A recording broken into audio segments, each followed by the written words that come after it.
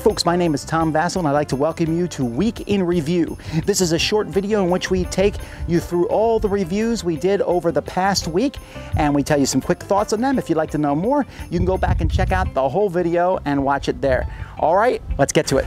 Hey folks, this week I was able to take care of uh, three reviews and a couple other videos for you. And uh, this week, first of all, I was able to do a little card game, uh, a action, simultaneous action selection card game where you're trying to find uh, different fragments of your reality and piece it together. It was called Entropy, a game I really enjoyed a lot at uh, three and four players, but five and six just get a lot, got a little too uh, chaotic. Uh, really, really good game, I think, for three or four players, but you'll have to make your own decision for those other player counts. So that's Entropy. I was also able to do a review on a game called Rome Rise to Power. This one came out of left field for me. I had no idea I was going to enjoy this game as much as I did. Gave it an 8 out of 10. Uh, so you probably need to go check this one out if you're anything like me. Uh, it has set collection in it, kind of. It has uh, worker placement or dice placement, kind of like Kingsburg. It also has an area control mechanic where you're trying to uh, control different regions in the in different projects provinces in these regions.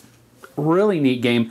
All of that in less than an hour, people. So it really plays well, really plays smoothly. Go check that one out. Rome Rise to Power. And I was also able to do a one uh, another card game, this one a drafting style game uh, called The Band is Even Better. It's a musically themed uh, drafting card game where you're trying to piece together uh, the best band and then take that band out on a world tour. You're, you're trying to score the most points, uh, but it's a really neat mechanic. Enjoyed it a lot. Fortunately for me, the artwork just kind of tanked it. Then I was also able to play the internet in Memoir 44, so that was a live playthrough, me against all of you guys, and you may or may not have won. You gotta go watch the video to find out. Uh, then I was also able to do another Battling Brushes with Rob and I. We're doing Zombicide Black Plague this month. That is it for me. See you on the flip side. Hey, hey everybody, Zee Garcia here.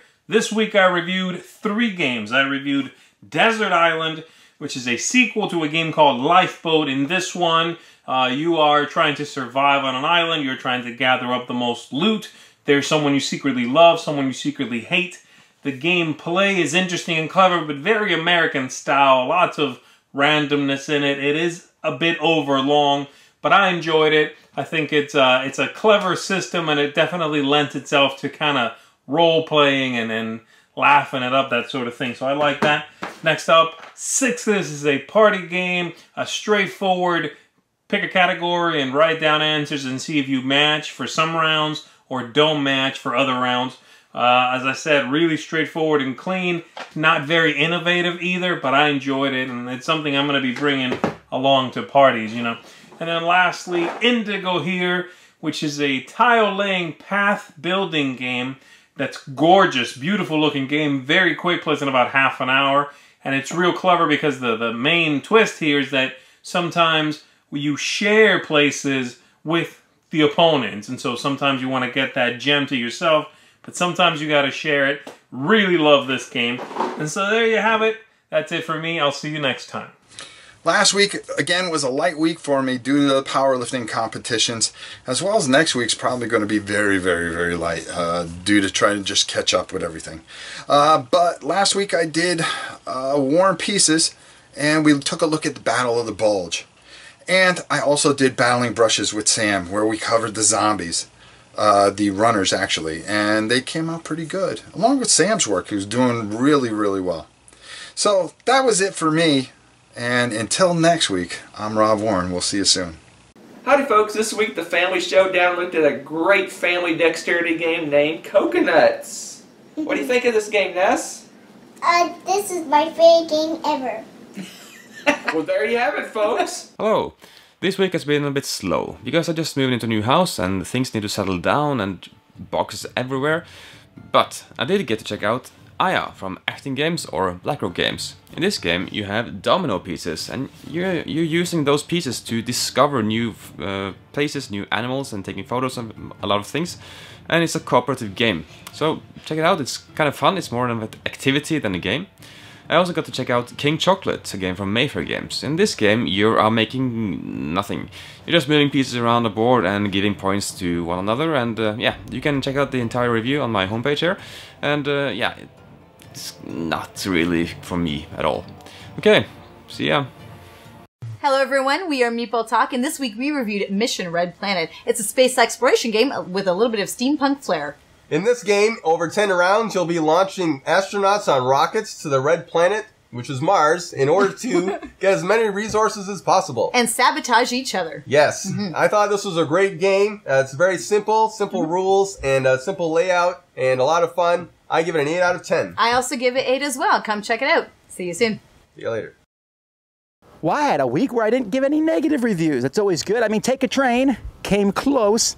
It's an auction game that needs a lot of work, but it did have some really cool ideas, and I liked the mix between all the different auctions and the set collection and kind of the push your luck and what kind of trains do you want in your thing. It's an interesting game. I like to see version 2.0 of it. Titus Tentakel. This is a game that my kids really enjoyed. It's a game for kids where you're hitting a device that shoots tentacles out. It might knock your ships. Other than that, it's roll and move, but for little kids, a lot of fun. Greedy Greedy Goblins from AEG. This is a speed style game where you're going to be turning over tiles and putting them in dungeons as fast as you can, and then putting your goblin in to seal it. Hopefully, you put a goblin in one that's going to get you points and not lose you points because too many sticks of dynamite will blow you up. A few sticks of dynamite, you can double your points or triple them. Fun, quick, and fast.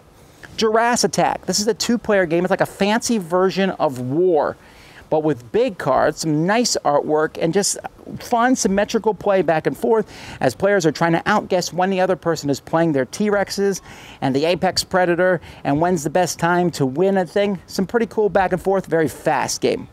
Happy Salmon. This game is silliness personified as you are running around a table laughing and shouting as you play a game. It is a lot of fun to watch. It is a lot of fun to play. It's certainly not everyone's cup of tea, but it is mine. Happy Salmon.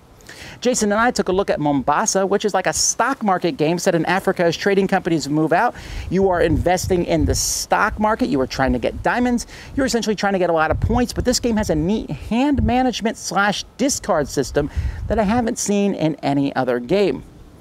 I looked at the fourth game in the Android series, which was Android, Android Netrunner, and Android Infiltration. This one is Android Mainframe, which is an abstract strategy style game where you're trying to get different areas on a board. Works really well with two, three, and four players. Bastion is a cooperative tower defense game from Hobby World, but it looks a little bit like. Um, uh, Castle Assault, but it's not. It almost feels like Ghost Stories. Monsters keep coming in, you got to fight them off. It has a really neat resource allocation system in it. Animals on Board. This is an amazingly fun game from Stronghold Games in which you are taking a group of animals and then splitting them and then splitting them and splitting them until you get the animals on board. You don't want pairs because that's Noah's job.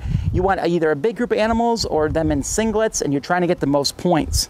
And then finally, Jason and I took a look back at Dominion, uh, which has been out for many years now. And we looked at kind of an overall look at Dominion and everything that's involved with that deck building game and giving our overall opinions.